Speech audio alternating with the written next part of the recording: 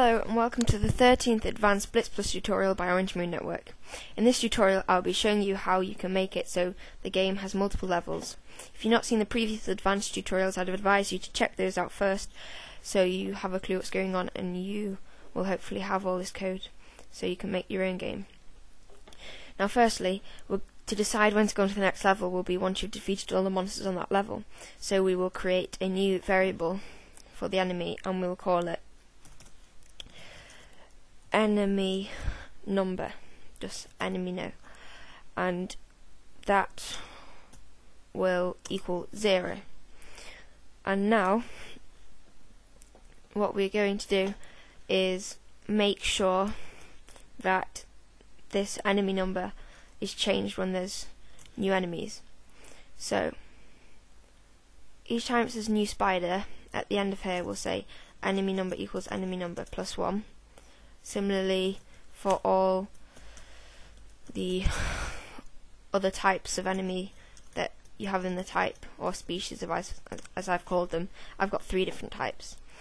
And also when you find when the enemy is deleted, we'll have here that the number of the enemies decreases by one. So I'll delete that so it keeps a track of the numbers. But also, this we only want to set this as zero when it's your first time through.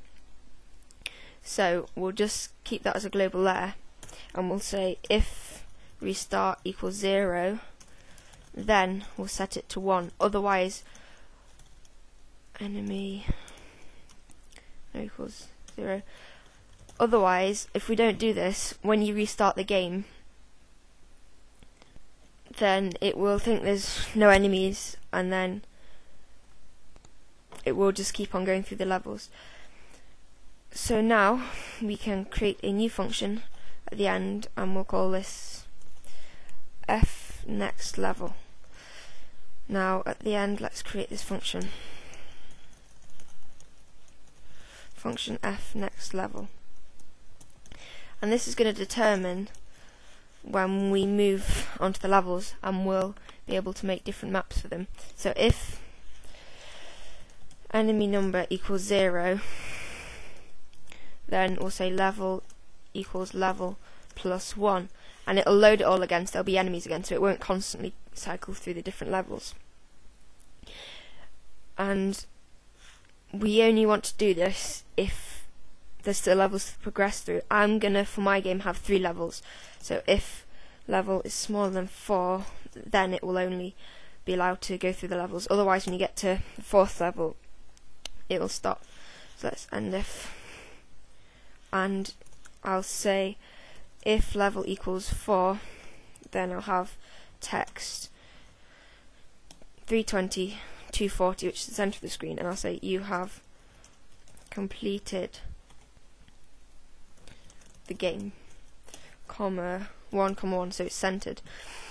And now we're going to trigger loading the next level. So once it's gone to the next level, we'll, we'll, we'll say that we'll make a new variable and we'll say that next oh got caps lock on next level equals 1 so this will trigger the game to say that we're going to have to load some more data. And to load data, you can't do it in the main program. So that's why I've had to make this trigger, which will leave the game from the main loop. And I will add this variable to the character variables, and I'll say global next level equals zero. So it won't always be trying to go on to the next level. Okay, so now when we're at the main loop, we'll say if next level does equal 1, oh, equals 1, then we're going to exit this, and we'll move down here to where it would go if it was restarting, but before that, we'll say if next level equals 1, then we're going to select what level it is to see where we'll go to to load the next level. So and if and then select. The reason we're going out of the main loop to do this is because you can't go to anywhere that's outside of the main loop unless you're outside the main loop. And we have to be outside the main loop so we can load data. You get what I'm trying to say. So well we've already loaded level 1 so we'll only do it for levels 2 and 3 and then we will go to a label called level 2 and if it's level 3 we'll go to a label called level 3 okay and now above the main loop we can have our we'll put the labels for the other levels. We'll just create a label above the main loop called main loop so we can get there once we've loaded the levels. So after so if it's the first time you run this program and you've just loaded all the variables then we'll want to go straight to main loop. So it avoids the loading more levels. So here it will be level 2 and then after that we'll say go to main loop. So it'll start the program and then we'll have level 3 go to main loop. Okay so now in these new labels we can reload the levels. So we will just copy all of this again and put it in here. So now the reason we're um, creating the array again is that if you want to change the size of the map you can do that. We just change the variable. Say you want it to be 10 by 10 then let's see 1 2 3 4 5 6 7 8 9 10 so I want it to go up to there and then I'll copy this and paste that 10 times. Remember you need to have exactly the numbers you've put here in the dimensions on the map. So let's just modify this map. And I think because it's level 2 it should be quite difficult. So I will put let's look at the key the boss I'll put two bosses one at the top and one at the bottom okay so once it's done that we're going to make read info equal 1 again so when it goes to here, it will reload the map again. And only do that once because we've set it to make read info 0 as soon as it's loaded the map. And we'll also make next level equal 0, so it'll stop going through the levels. And now we can do the same, just copy the same thing for level 3. And you can modify this, so I think I'll make this even more difficult by... Oh, I don't know I put 3s. It's supposed to be 9 for the boss. I'll put I'll change it so I'll put some extra sevens in and eights so it's much more difficult okay so now let's try running the program it says duplicate variable name so it's found a problem Let's see yeah what the problem I've done here is when we're creating the maps again, we've already declared these as globals, so all we need to do is change the numbers themselves. And in fact, because in this map it's the same, we don't even need those there. So if you go like this, it won't run them. But I'll just leave them there in case you want to change the size of the map for level 3. Let's save that. And so I'll explain the problem again.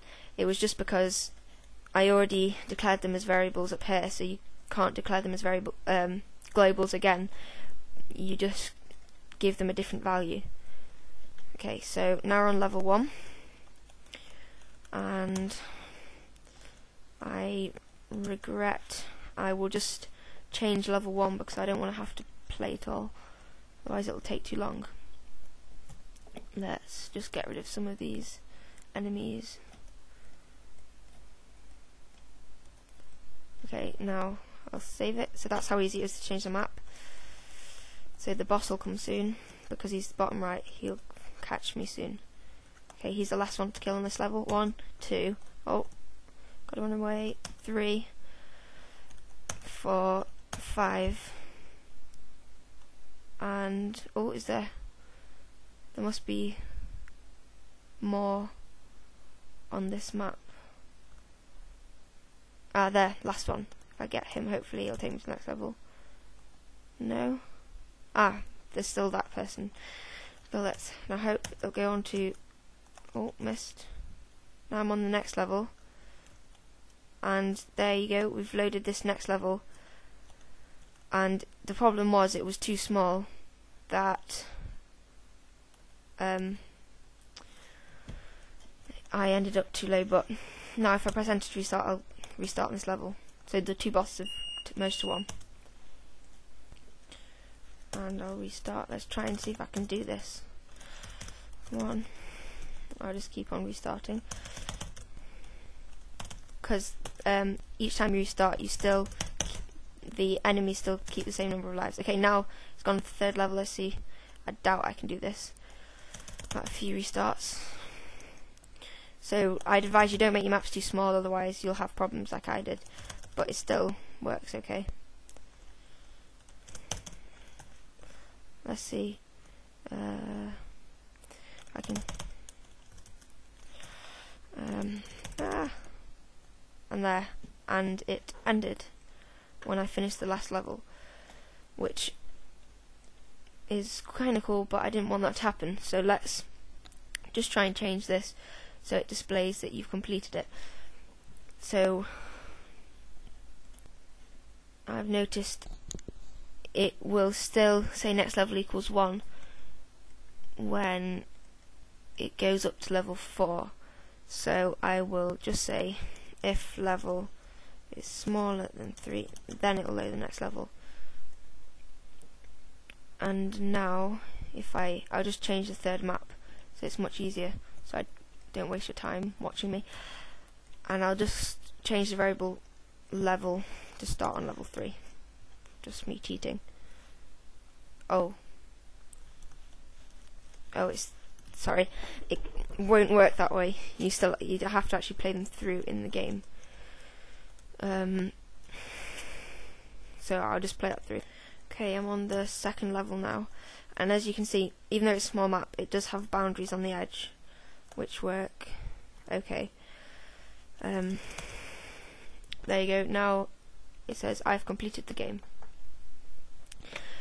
So in the next tutorial I'll have improved my maps so they work better and I'll show you how to save the game and that'll be the last one so thanks for watching.